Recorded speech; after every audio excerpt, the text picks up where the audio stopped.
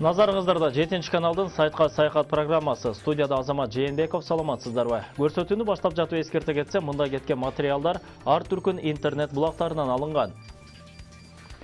Кыргызстан фракциясынын парламенттеги бошогон орундарына Нурлан Макеев менен Исламбек Сарсеитовдун ордуна тизме боюнча кезектеги эл өкүлү болуп, Орозбек Алыбаев менен Жаныбек Исаев келди. Орозбек Алыбаев боюнча азырынча ашыкча сөз жок.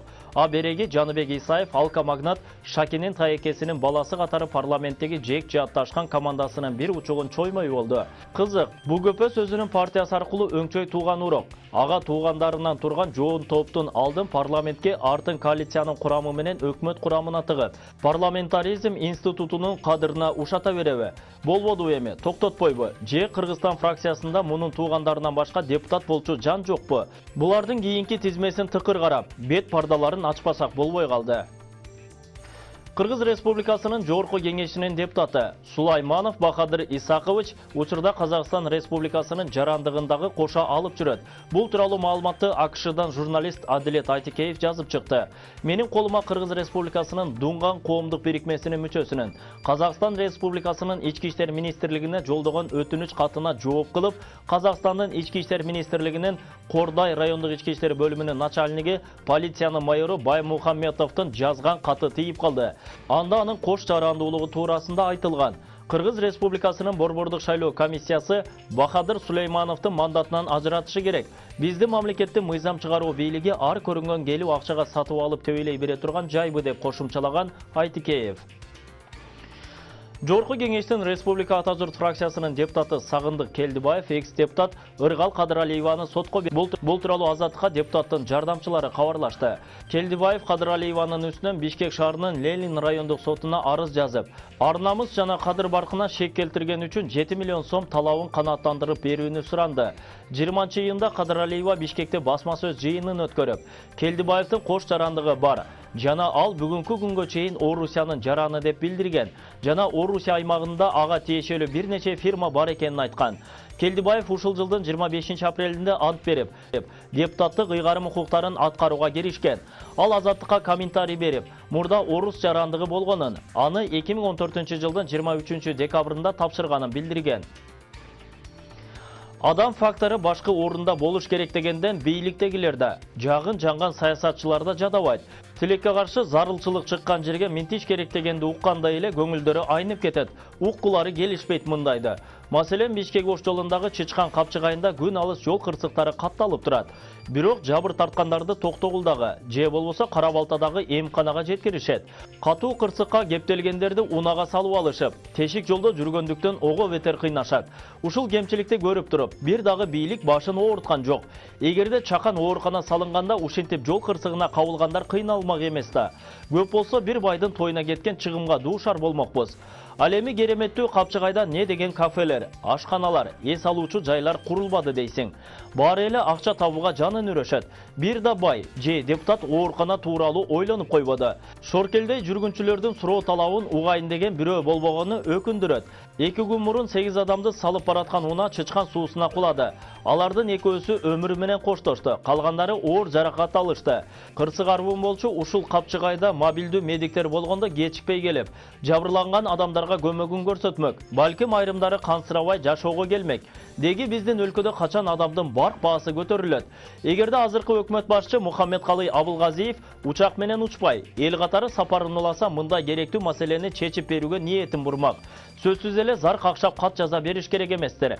Элдин мүдөөсүн аткара албаган бийликтин кереги канчалык деген кептин маңызы бардай. Азаттықтың кабарчысы Улан Эгизбаев гезитке берген маегинде көрүстөндөгү коррупция тууралуу иликтөөбүз Кыргызстанда чоң резонанс жаратты. Тиешелүү органдар териштире башташты. Депутаттар парламентте да көтөргөнү жатышат. Биз көрсаткандардын жүзүн фактылар менен ачып көрсөттүк. Мени көрүстөн жетекчилери ушул күнгө чейин коркутуп үркүтүп жатышат деген эле. Бул боюнча биз да кошумча иликтөөнү баштадык. Бишкектин аза кызматтары агенттигинин директору Аскербек Алиев көрүстөндөгү жагымсыз окуялар мен келгенге чейин болгон. Ага мен анча териккен жокмун. Азаттықтың кабарчысы Улан Егизбаевты коркутуп үркүткөн тууралуу дооматы суу кечпейт. Ким коркутуп атса, аны ачык эле айтсын деди.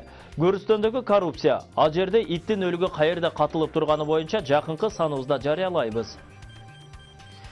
Улуттук коопсуздук боюнча мамлекеттик комитеттин маалыматына караганда, Сириянын согуш болуп жаткан аймактарында Кыргызстандан 850 жаран кетип, анын 150үсү ошол жакта каза болгон.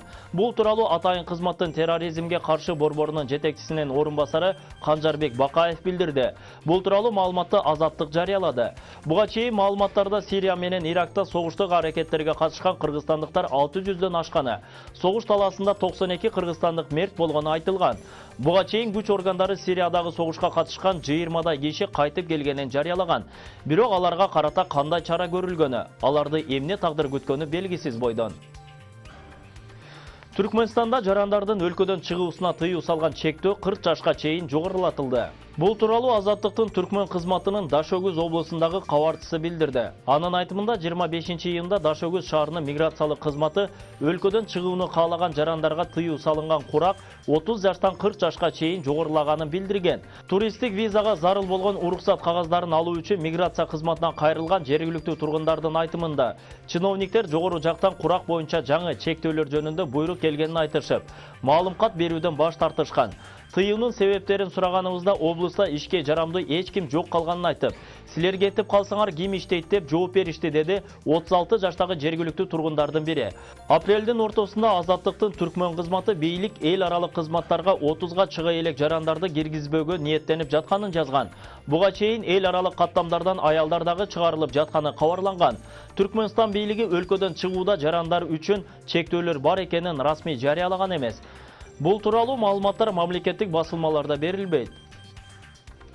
Өзбекстан салық комитеті президент Шавкат Мирзиёев берген салық жеңілдіктерінен қиянат пайдаланған қол өнөрчүлөрдүн ишмердүүлүгүн текшере баштады. Бұл өнөктүк қол өнөрчүлүк деген атқа жамынып алып, ишкердик жүргүзгөндөрдү аныктоого багытталган. 20 июндан тарта Анжиян жана Ферганадагы кол өнөрчүлүк борборлору салык жеңилдиктеринин максаттуу пайдаланылышы текшерилиши тууралуу билдирме ала башташты. Учурда салык комитетинин кызматкерлери кол өнөрчүлүк үчүн күбөлүк алып, бирок ишкердик жүргүзүп жаткандарды издөөдө. Маселен, Маргеланда ар бир экинчи дүкөн ээси кол өнөрчү катары катталган деди жергиликтүү зергер Элбек Мухаммадов. 2017 жылы 17 ноябрда Өзбек президенти Шавкат Мирзиёев кол өнөрчүлүктү өнүктүрүү боюнча токтомго кол коюп салык жеңилдиктерин киргизген мындан тышкары хунарманд ассоциациясына мүчө усталар кесиптик колледждерде окууга мүмкүнчүлүк алышкан өзбекстан салык комитетинен билдиришкендей маргеланда эле 550 кол өнөрчүлүк уюм катталган алардын 246сы таптакыр башка иш менен алектенет Хунарманд ассоциациясынын маалымат катчысы Нилюфар Хатамова кол өнөрчүлүккө жамынып, башка иш менен алектенгендер республика боюнча көбөйүп жатканын белгиледи. Алгач алар кол өнөрчү деген күбөлүк алып, улуттук кийим тиге башташат. Анан 1-2 ай өтпөй дүкөндөрүн Кытай кийимдери менен толтуруп ташташат. Мамлекетке салык төлөшпөйт.